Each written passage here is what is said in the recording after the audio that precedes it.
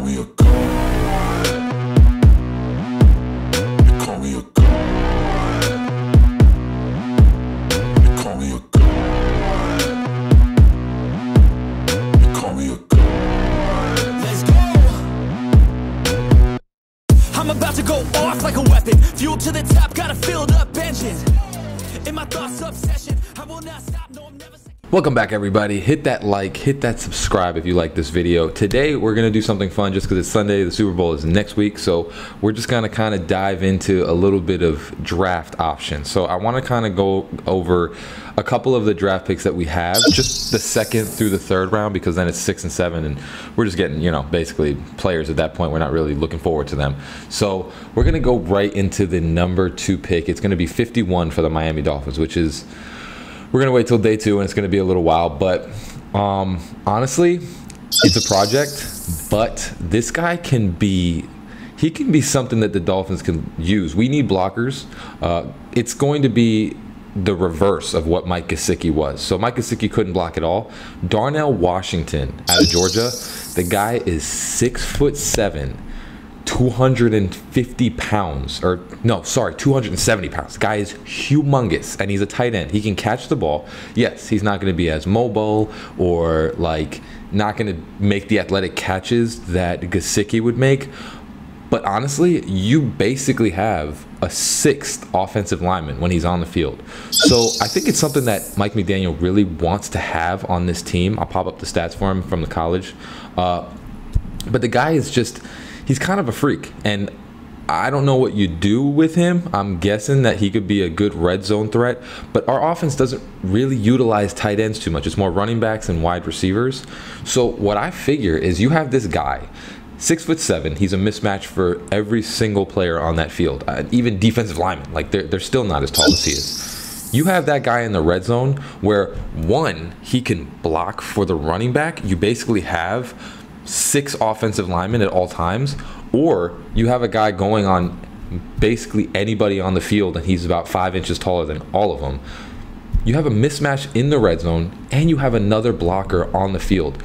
I think Mike McDaniel can really, really figure out how to use this guy because you have basically a building that is a tight end. And it's not like he's slow. He's not fast. He's not going to, you know, burn you down the field. But once he gets the ball in his hands, he has enough speed and he's huge that he will run any single defender over. You- You're not taking him down with the first defender. And he knows how to hurdle. So a lot of players like to go for his legs. He understands that. And he hurdles over a lot of players. So I think with the number two pick, you know, offensive lineman, I think we need a veteran. We don't need to get another rookie to come in and figure out if he's good or not, especially when you're in the second round. Linebacker, same thing. You don't want a project, especially with Vic, uh, Vic Fangio coming into the uh, coaching regime. But I think this guy can just give you that weird, crazy beast type dude that can honestly turn into something pretty spectacular in the NFL if he gets everything together. So that's what I think our second pick really should be. I think running back we have Mostert. We're going to bring him back most definitely. Uh, Jeff Wilson is pretty cool, but I think we're going to go for running back in the third round. Speaking of third round, we will see if he gets this far. We have the 77th pick in the third round. We have two third round picks, 77th and the 83rd or 84th. Um, but the, for the third round, I think this is going to be my gem of a player. I think Darnell Washington is going to be a freak and he can really be utilized at the next level. Uh, but this running back, I think, is going to be a big sleeper. And I think you get him in the third round, you got a first round talent in this guy. And it's Zach Charbonnet. The guy had 1,300 yards in college, 14 touchdowns. And if you watch his tape, he moves different. He's not a super fast guy, but he moves I mean, almost like one of the most agile big running backs I've I've seen in a while. Like the guy really just knows how to cut and do all these different things. Yes, he's not going to burn you down the field again, but that's what Mostert's for. Mostert's going to be that speed guy. But Charbonnet can really, I mean, he does not go down after one tackler. He really just knows how to pick the holes right. If you watch his tape, I mean, the guy has patience like a veteran, and he can really just come into the NFL and just start making an impact off bat. I think honestly he's a more agile Jeff Wilson, if I could be honest with you. Uh, the guy just knows how to cut, he knows how to stop, and it's just it's pretty miraculous to see somebody that big that can run you over, stiff arm you, but also can just move from one direction forward to the right or to the left with like a snap of his fingers. The guy his cutting ability is something that I have not seen for a really long time. I mean, he's big, not really fast, but he can really just pick where he needs to go and just go that way, which is very translatable to the NFL. You have a lot of fast guys coming out. You know, I, I think you're always going to have those fast running backs that can cut this and that, but I think this guy is just going to be out of the whole running back room, the really special player that can really just contribute to the offense and can just pick those holes right. And also, another, again, added blocker where this guy's big, he can block well.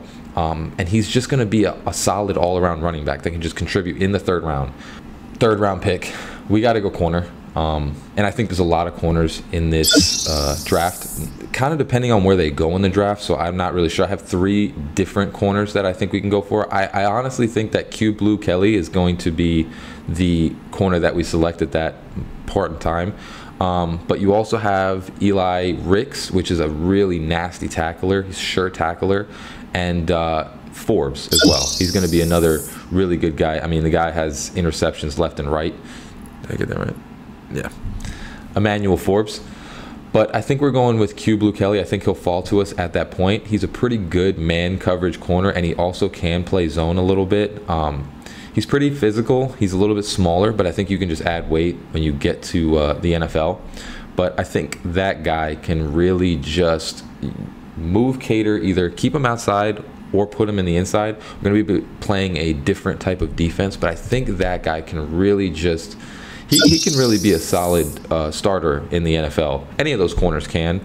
Um, and I think with the Vic Fangio defense, he'll fit very well because he's a pretty sure tackler and uh, he has pretty decent ball skills, you know. But honestly, if Emmanuel Forbes falls to us, I mean, that guy is a pick six walking. So we could also pick Emmanuel Forbes at that time. But there's plenty of corner help um, in this draft. I think a couple of players, the middle linebacker and the uh, safety and also, you know, the offensive line. I think we're going to go for veteran help because I think Vic Fangio runs with that type of player so much so on the defense and also Mike McDaniel on the offense that you need to have a guy that you don't need to teach a lot of stuff to, that you can just plug, play, and get better. And I think we're going to find a lot of that in free agency. And then these types of players we can definitely find in the draft. So hope you like that. Do a little research on your draft picks, but I think that's who we would be targeting most likely in our second and third round picks, just to get the most bang for your buck. Again, hit that like, hit that subscribe. Hope you have a great rest of your day. Fins up. Peace.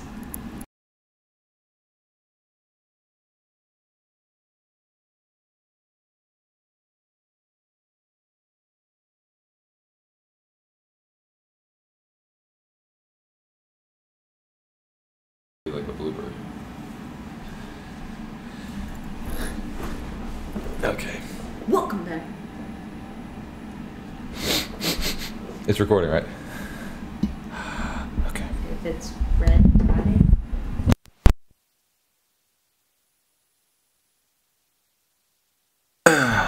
Is my hair mess? Yeah.